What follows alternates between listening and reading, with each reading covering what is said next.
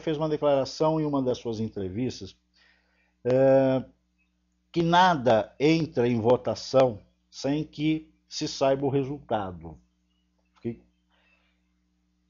É, assim. Parei, olhei, a câmera vai se propor alguma coisa, então você declarou. Isso daí não é caracterizado um cartel, uma formação de quadrilha, porque não é realmente colocar, olha a população, vocês são os perfeitos imbecis, porque nós vamos colocar um projeto que nós já sabemos que o resultado é esse. Ou seja, é uma partida de futebol que já sabe quem que vai ganhar. É. Que bom, você está botando a boca no trombone. Então, então tá, não dá para dizer que caracteriza a formação de quadrilha, porque nem sempre, e, e eu vou falar isso muito sério, é, às vezes o projeto é um bom projeto que interessa muito à sociedade e, e ele vai a votos e ele é aprovado. Mas está é atendendo é o primeiro interesse em todo mundo, da bancada. Mas para ele ser aprovado, não tem nada a ver com ele ser bom ou ruim. Saiu de foco, é isso? A, ah, eu voto para o meu ah, lugar. Tá.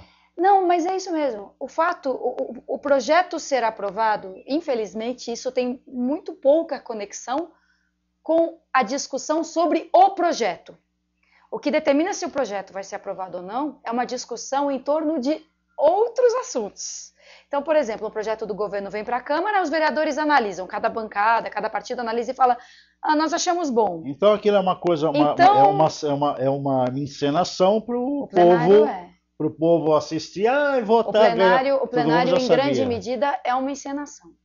É uma, é uma encenação. É, é, é, o resultado do que foi decidido antes do plenário. Quando abre a sessão plenária, já está acordado qual será o resultado daquela votação. Existe uma, uma relação de pergunta. Poxa, você para ser é, é, escriturário num banco, o cara quer saber toda a capacidade e é óbvio que a mão de obra é a que faz o sucesso de uma é. empresa. É. Uhum.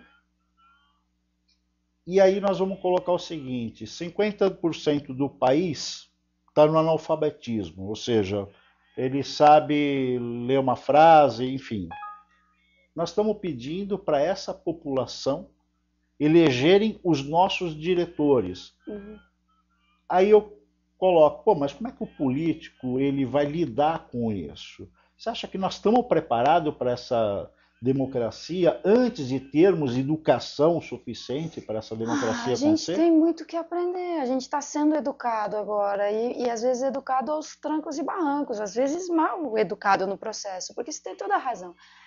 As pessoas, os eleitores, muitos deles, não fazem ideia do que faz um vereador. O que significa um vereador dentro dessa estrutura que você desenhou aí qual que é o papel do vereador? Não, Qual que é a atribuição dele? Nem quem não foi sabem. em quem eles votaram. É. Foi perguntado para 150 pessoas de diversos bairros. É. Eles, é, é, 80% não, não lembram. Lembra. E o pior é que esses 20% que lembrem, talvez lembrem, mas você pergunta assim, ok, e o que, que faz o vereador? Lembra que votou, ah, votei no cara lá, que a minha vizinha falou que é legal. Mas o que, que esse vereador faz? O que, que ele deveria fazer? Não sabe. Nada. E mesmo as pessoas mais bem informadas sabem como deve ser um vereador, mas depois que o cara está eleito, não estão acompanhando, não sabem como avaliar se ele está sendo um bom ou mau vereador. E não tem a dúvida que, da onde saem os candidatos a vereador? Dessa população, dessa população que é mal informada, que é mal instruída. Muitas vezes, o candidato a vereador não sabe o que ele deve fazer como um vereador, o que ele fará depois que ele for eleito, o que, que cabe a ele, o que, que não cabe a ele, o que, que é um poder que lhe compete e o que, que não é. Então, você tem toda a razão. A gente tem o desafio agora de trocar a roda com o carro andando, porque você não pode parar o carro. Você pode falar assim, não, para, para, suspende a democracia. Quem será o ditador mais bem preparado aí no momento para assumir esse negócio enquanto a gente estuda? Não dá. O, processo, o carro está andando, o pneu furou e não dá para parar. Então é um desafio monstruoso. Isso aqui, isso aqui, TV, internet, tem tudo a ver com essa com esse desafio e essa possibilidade de dar informação para as pessoas para que elas entendam o processo enquanto estão dentro dele. É, eu fico. Eu, eu, declaração tua, você fez uma declaração em uma das suas entrevistas é, que nada